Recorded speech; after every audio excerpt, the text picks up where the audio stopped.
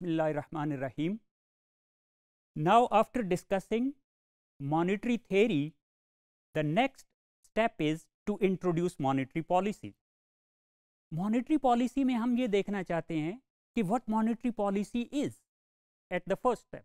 First of all, what monetary policy is, then how does it affect real economic variables? जैसे ये GDP को effect कैसे करता है जैसे इन्फ्लेशन रेट को इफ़ेक्ट कैसे करता है and thirdly we are interested in discussing the issues related to monetary policy जो कि मैं आपको आगे लेक्चर में इंट्रोड्यूस करवाऊँगा।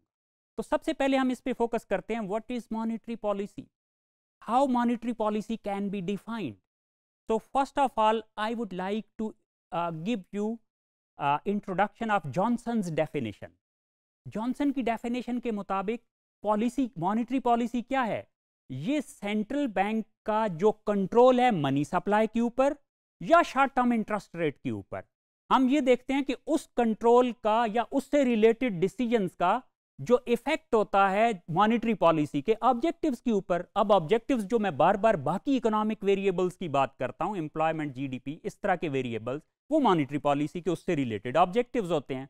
तो कैसे इंस्ट्रूमेंट या कैसे उसके मनी या इंटरेस्ट रेट से रिलेटेड डिसीजंस कैसे इकोनॉमिक वेरिएबल्स को इफ़ेक्ट करते इसी तरीके से एक और डेफिनेशन के मुताबिक it is a set of tools used by central bank to control money supply यानी कि सेंट्रल बैंक के पास कौन से टूल्स हैं जिनको वो यूज़ करके मनी सप्लाई को कंट्रोल करता है? और फिर मनी सप्लाई को क्यों कंट्रोल करता है? वो इसलिए as an attempt to achieve economic goals कुछ इकोनॉमिक गोल्स होते हैं जिनको अचीव करने के लिए मॉनिटरी पॉलिसी डिसीजंस लिए जाते फिर हमारे स्टेट बैंक की वेबसाइट पे एक डेफिनेशन मौजूद है, मॉनिटरी पॉलिसी की।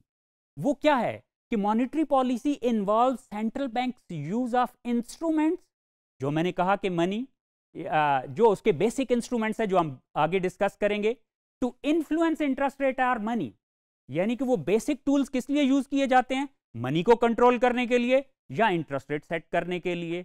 लेकिन किस लिए? Again to achieve certain objective और वो ऑब्जेक्टिव हमारी हमारे स्टेट बैंक की वेबसाइट के मुताबिक क्या है? फॉर एग्ज़ाम्पल प्राइसेस का कंट्रोल और फाइनेंशियल स्टेबिलिटी अच्छा मॉनिटरी पॉलिसी के अंदर हम ये साइकिल बड़ी डिटेल में डिस्कस करेंगे कि मॉनिटरी पॉलिसी कहाँ से स्टार्ट होती है? सबसे पहले ऑब्जेक्टिव से। कोई भी पॉलिसी आपने बनानी है तो पहले तो ये देखना पड़ेगा कि उस पॉलिसी के ऑब्जेक्टिव्स क्या हैं।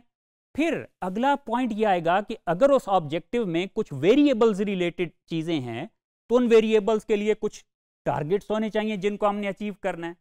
फिर हमारे फोरकास्ट आते हैं कि इस वक्त हम कहाँ पे खड़े हैं। मॉनिटरी पॉलिसी डिसीज़न हम ना लें, हम पॉलिसी चेंज ना करें तो फ्यूचर में, अगले साल में, अगले क्वार्टर में, अगले छह महीने में ये वेरिएबल कहाँ पे होगा? ये फोरकास्ट फिर कुछ नॉमिनल एंकर होता है हर मॉनिटरी पॉलिसी का, जो हम बड़े डिटेल में बाद में पढ़ेंगे, जिसे हम इंटरमीडिएट टारगेट कहेंगे। वो क्या होता है और उसे चूज़ करने में, उसकी सिलेक्शन में कौन सी चीज़ें रोल प्ले करती हैं। फिर एट द एंड जब सारी बातें हो जाएँ तो फिर सेंट्रल बैंक को एक डिसीज़न लेना होता है। वो डिसीज़न इंस्ट्रूमेंट से रिलेटेड होता है और उसको, उस इंस्ट्रूमेंट से रिलेटेड ऑब्जेक्टिव को अचीव करने के लिए कुछ टूल्स यूज़ किए जाते हैं। और उन टूल्स का अल्टीमेटली फिर उन्हीं वेरिएबल्स पे इफ़ेक्ट होता है। जो आपके वेरिएबल्स में, आप बेसिक गोल्स में शामिल होते हैं। अब मॉनिटरी पॉलिसी की मैंने कहा था कि हम इश्यूज़ भी डिस्कस करना चाहेंगे। अब कौन से इश्यूज़ हैं जो मॉनिटरी पॉलिसी में हम डिस्कस करते हैं? एक कोर इश्यूज़ है मॉनिटरी पॉलिसी के। वो कोर इश्यूज़ क्या है? कि ऑब्जेक्टिव्स डिफरेंट किस्म के हो सकते हैं। मसलन ऑब्जेक्टिव ये भी हो सकता है कि हमने बेरोजगारी खत्म करनी है। ऑब्जेक्टिव ये भी हो सकता है कि हमने प्राइसेस को कंट्रोल करना है। फिर इसी तरीके से उनके टारगेट्स मसलन, हम कहें कि हमारा ऑब्जेक्टिव जो है वो प्राइसेस को कंट्रोल करना है। तो प्राइसेस के कंट्रोल से मुराद टू परसेंट इन्फ्लेशन रेट है, या टेन परसेंट इन्फ्लेशन रेट है, या फाइव परसेंट इन्फ्लेशन रेट है तो टारगेट से डिबेट होगी कि क्या चीज़ हो क्या, किस तरीके से टारगेट सेट किए जाते हैं। फिर उसके बाद इंटरमीडिएट टारगेट कैसे चूज़ किया जाता है, क्योंकि डिफरेंट इंटरमीडिएट टारगेट्स होते हैं, या नॉमिनल एंकर्स जो डिफरेंट कंट्रीज़ में होते हैं तो उसकी चॉइस कैसे होती है, और फिर इंस्ट्रूमेंट की चॉइस कैसे होती है, कि सेंट्रल बैंक मनी को टारगेट करता है या इंटरेस्ट रेट को टारगेट करता है।